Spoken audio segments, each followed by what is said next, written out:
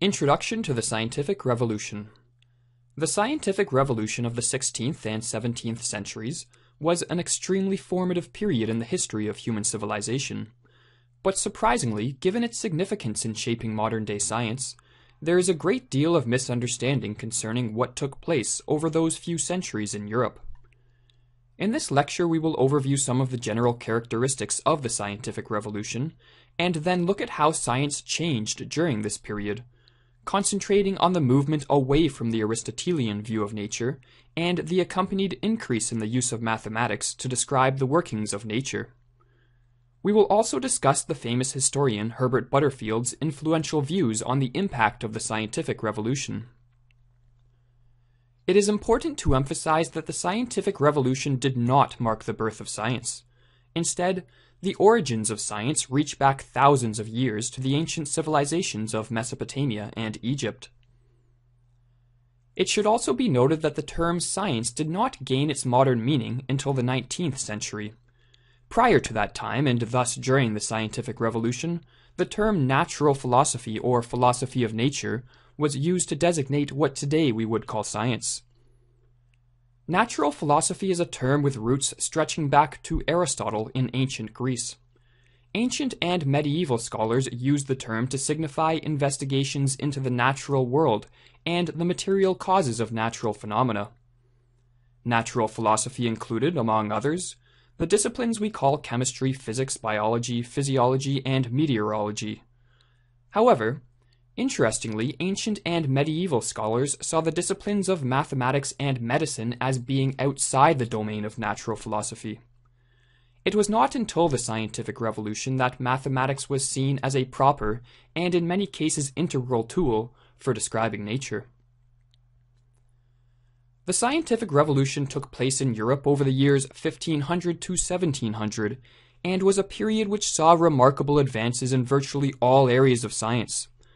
Some mark the beginning of it in a somewhat arbitrary manner, as coinciding with Nicholas Copernicus's development of the heliocentric or sun-centered universe, a theory he put forth in his book on the revolutions of the celestial spheres, which was published around the time of his death in 1543. While there were many factors contributing to the remarkable growth in science at this time, the influence of the Renaissance is often seen as one of the most important. The Renaissance, which began around the 14th century, was a period in European history of great cultural and scholarly development. This period saw the invention of the movable printing press, the exploration of the New World, and the rise of the scholarly movement known as Renaissance humanism. Humanist scholars were very interested in the works of ancient philosophers and were responsible for the rediscovery and translation of hundreds of works by ancient scholars, including many of Plato's dialogues. Humanist scholars also translated many ancient works on mathematics, works which were to have a great influence on the philosophers of the scientific revolution. While the scientific revolution began in the 16th century, the majority of the major achievements were seen in the 17th century. This was the time which saw the work of such giants as Galileo Galilei, Johannes Kepler, Rene Descartes, and Isaac Newton, to name but a few. The 17th century also saw widespread abandonment of Aristotelian natural philosophy, which up until the time was the most influential natural philosophical system the world had ever seen. To understand why the abandonment of Aristotle's system is seen as such a momentous event in the history of science, it will be beneficial to briefly examine the impact it had on the natural philosophy of the Middle Ages.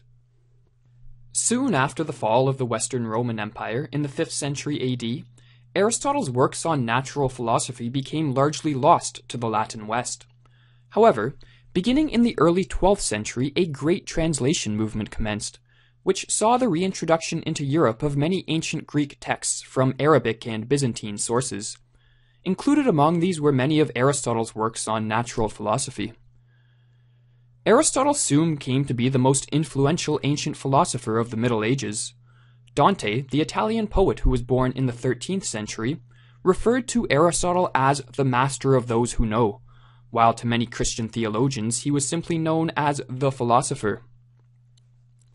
Theologians such as St. Albertus Magnus and St. Thomas Aquinas incorporated the Aristotelian philosophy with Christian theology in the 13th century to help develop what was to become known as scholasticism, a system or method of thought which was to dominate many European universities well into the 17th century.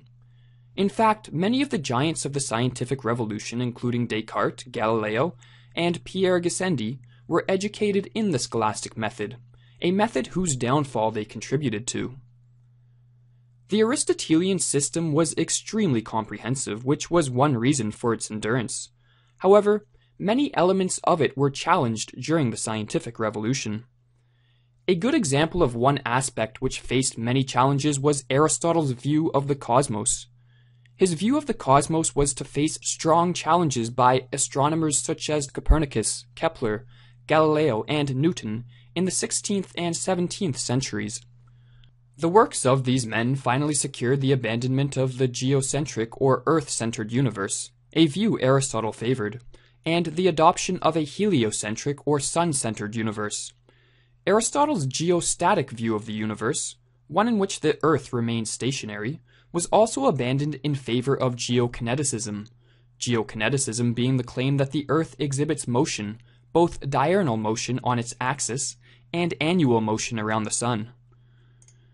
The heliocentric and geokinetic hypotheses were put forth by Copernicus in his work on the revolutions of the celestial spheres in the 16th century, but it was not until the further work by men such as Galileo and Newton in the 17th century that these views became increasingly accepted.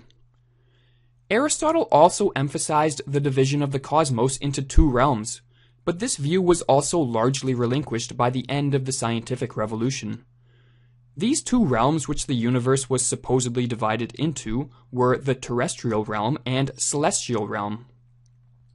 The terrestrial realm, according to Aristotle, was the region below the moon and included the earth. This realm was made up of the four elements earth, water, air, and fire, and characterized by change.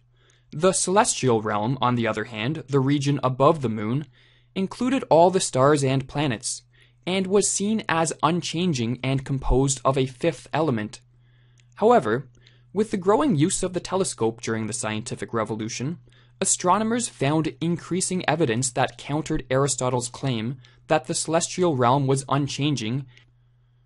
The scientific revolution also saw a decline in emphasis on qualities, a marking feature of Aristotle's natural philosophy, to an emphasis on quantity, to make the distinction between quantity and quality clear, a good analogy is to think of the different ways one could describe a tree. As a description, one could offer the tree's qualities, such as its color, texture, or shape.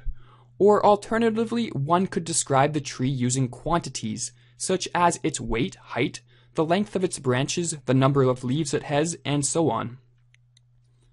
During the scientific revolution, natural philosophers became increasingly concerned with using quantity to describe nature, and this emphasis on quantity went hand in hand with the growing role of mathematics in natural philosophy.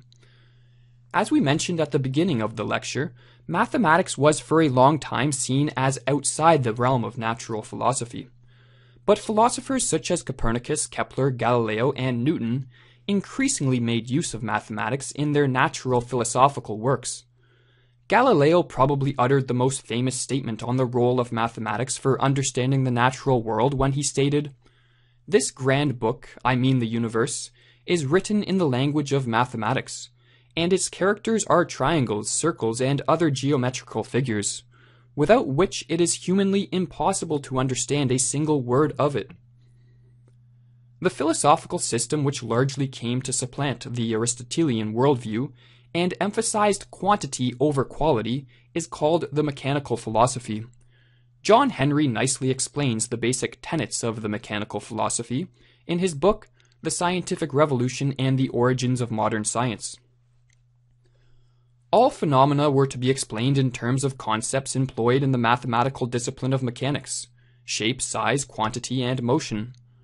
The mechanical philosophy saw the workings of the natural world by analogy with machinery. Change was brought about by and could be explained in terms of the intermeshings of bodies, like cogwheels in a clock.